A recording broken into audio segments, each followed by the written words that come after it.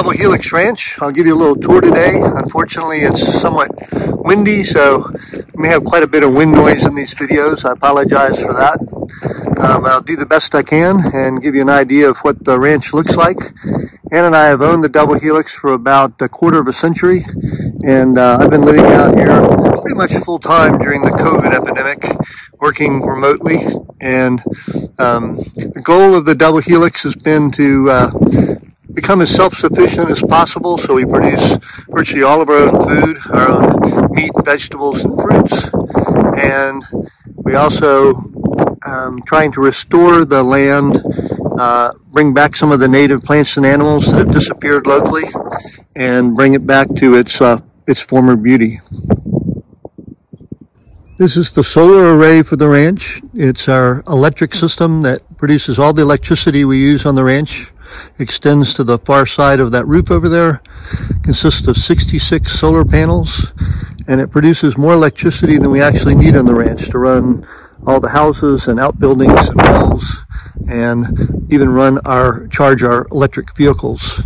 Um, so we feed the excess electricity back into the grid for, for others to use.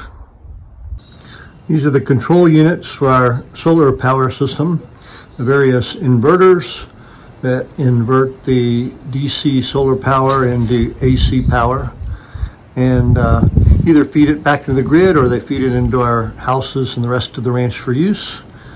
And then if we have excess power, we store it in this uh, very large battery system.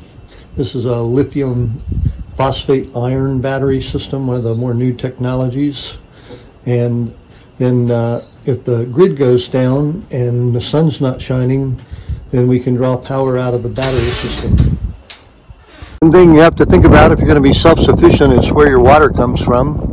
Uh, we have several wells that we have drilled to uh, to get our water and and they're solar powered just like the rest of the ranch. So we have solar panels that power the individual wells as well as uh, having central power to distribute water around the ranch. We have some wells that are used for irrigation and for the cattle and others that supply water to our, our household.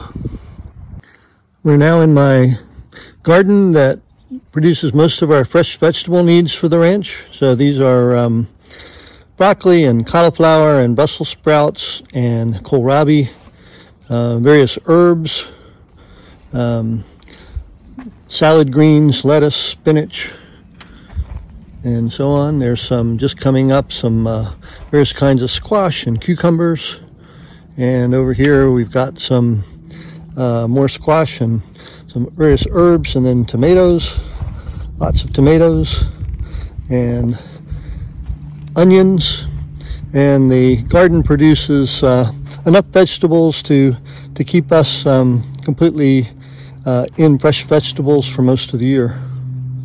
For fresh fruit, I've planted about 70 different kinds of fruit trees at the Double Helix Ranch. And so we get fresh fruit from May to December.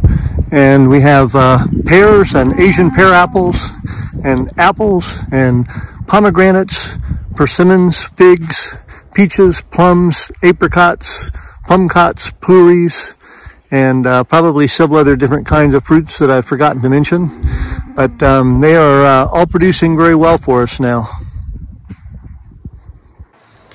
One thing that I've learned to do during COVID is to cure and prepare meats without the use of refrigeration. Now, these are hams that are cold smoked and been cured and can be stored at room temperature. These are made from our local feral hog population. We've got lots of feral hogs on the Double Helix Ranch.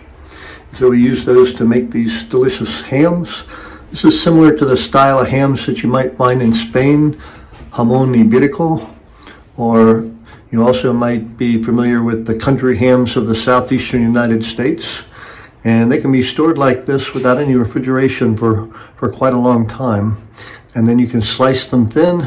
They're delicious eaten uh, straight or as with ham and biscuits, or you can make chunks of the ham and use it in cooking all kinds of delicious vegetables. Ann and I both drive electric cars now, and we have an electric uh, four-wheel drive ranch vehicle as well. So those are all powered from our solar power system. So we're completely independent of um, using gasoline for our travel needs now. We rely entirely on traveling by, uh, by solar power, driving with the sun. This is our ranch fire truck. Um, it was originally a fire truck used by Burnet, Texas, uh, city of Burnet, and they got a new fire truck after 9-11. So we bought the old one and, and refurbished it and uh, put on a new pump system. And so we now have new pumps and fire hoses that we can use to fight wildfires. And it, uh, it worked great. We have a volunteer fire department here at the ranch consisting of our friends and relatives. And then for a water source, I capture water off the rooftops of all of our buildings into these large tanks. And I can fill up the fire truck just about any place on the ranch in a moment's notice. And we can use that to fight wildfires, which we've done a few times. This is the real workhorse of the ranch, the, our skid steer that I use to build ponds and to cut firewood and to um, clear brush and all kinds of other kind of projects, uh, dig trenches. Um, it's a very useful device that really helps us out. It's one of the few machines on the ranch that doesn't run on electric power. It uh, has to be diesel powered, but um, maybe eventually they'll come out with uh, electric versions of these uh, of these heavy ranch machines.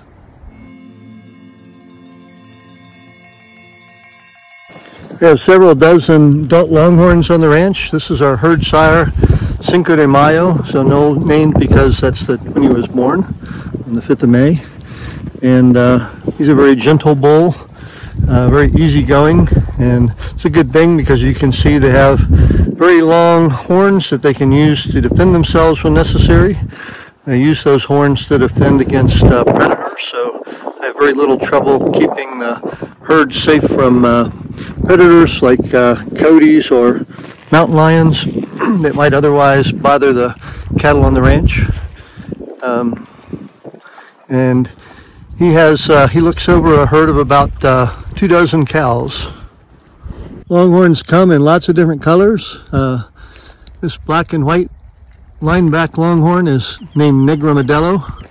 Um, so all longhorns are not necessarily orange and white, despite what some people think. One of my longhorn cows, this is DH Shonuff.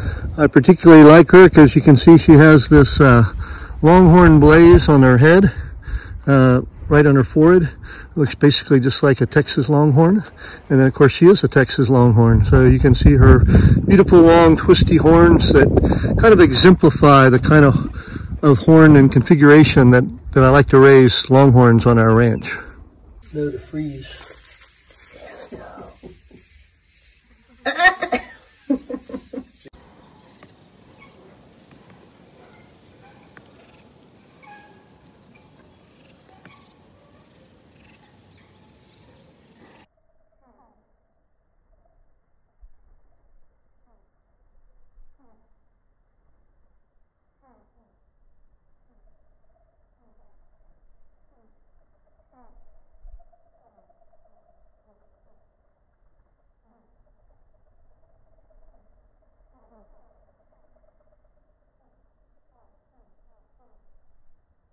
In another month or so, the ranch will be covered in wildflowers.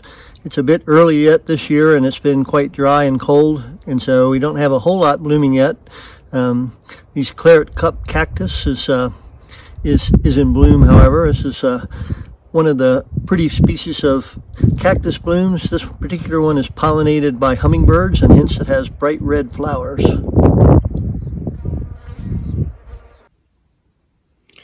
These are our chicken eggs. They're all different pretty colors of blue, pink, and brown. They produce delicious eggs. We produce all our eggs here at the Double Helix Ranch. And they are absolutely delicious.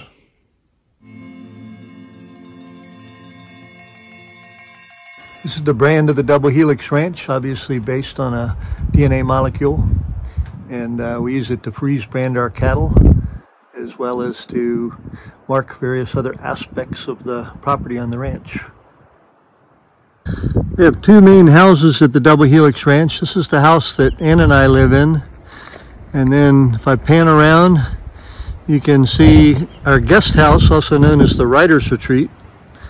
And uh, the Writer's Retreat is, uh, is used as a place where writers can come and work on residence and on writing books. So we've had lots of famous authors, Amy Tan and lots of natural history authors have stayed at the Writer's Retreat and, and written great works of literature.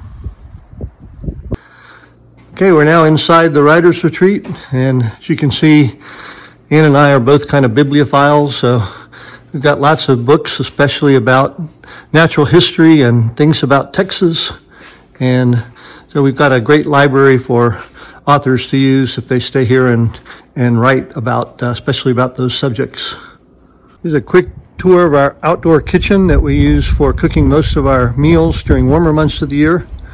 Um, we do a lot of cooking either on the, the fireplace or in the fire pit. Um, we also have a pizza oven or a range top. And it's beautiful out here at night, and uh, especially if you cook and eat around the fire, around the fire pit. It's a lovely place to sit and listen to the coyotes howl. I like to collect skulls of animals, and so in the writer's retreat, you'll also see it's decorated with kind of a, a skull theme. Lots of different interesting skulls of different kinds of animals, especially different mammals. And uh, uh, that's kind of an entertaining aspect of the decor inside the writer's retreat. Yeah, Well, walk on by Mountain Shadow here and see if we can walk down to the creek so you can get an idea of what the uh, some of the terrain looks like on the double helix.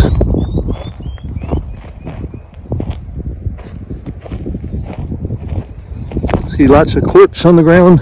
It's a central Texas mineral region, and so um, it's known as uh, area of lots of gemstones. You can find Texas blue topaz and um, you can find quartz crystals and fluorite crystals and star sapphires and tourmaline and uh, iron pyrite, other minerals in the area that a lot of people like to come and seek out. And then you can see one of our uh, this is known as the major groove of the double helix. Those biologists in the audience will kind of understand that reference.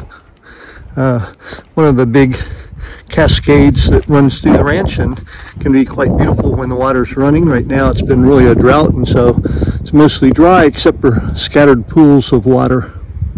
The primary rocks of the double helix are gneiss, which is metamorphosized granite, been transformed under intense heat and pressure um, back about 1.1 billion years ago. And then the gneiss cracked, and uh, in the cracks there were intrusions, other kind of crystals formed. Those are called pegmatites. So here you can see some pegmatites of quartz and uh, a black mineral that's known as ilmenite um, ilmenite is a titanium oxide. It's a primary ore of titanium.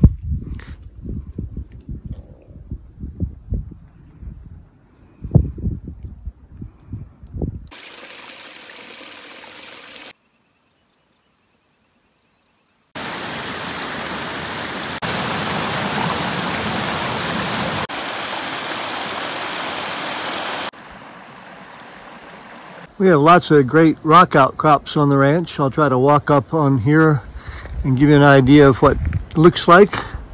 Um, we've got beautiful vistas. Uh, you can see for miles and miles around. And um, our nearest neighbors are miles away, so we're pretty isolated out here on the ranch, except for all of the beautiful animals and plants and and uh, and rocks you see a lot of the rocks are covered in very pretty lichens. And as I get up here on the top, you can look out. I just see a couple of vultures flying away from up here as we get to the top. Probably nesting up here in the rocks. And you can kind of take a look for the at the views we get. You get up high see for miles and miles. It's a smoothing iron mountain in the very distant background there. And that's kind of what the territory of our ranch looks like.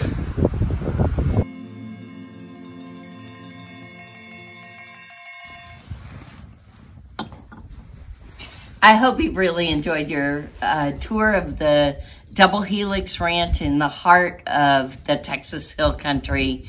And I hope you can spend some time while you're at the university really enjoying this beautiful part of the world. Come and visit us. We've enjoyed the tour. I hope you have too.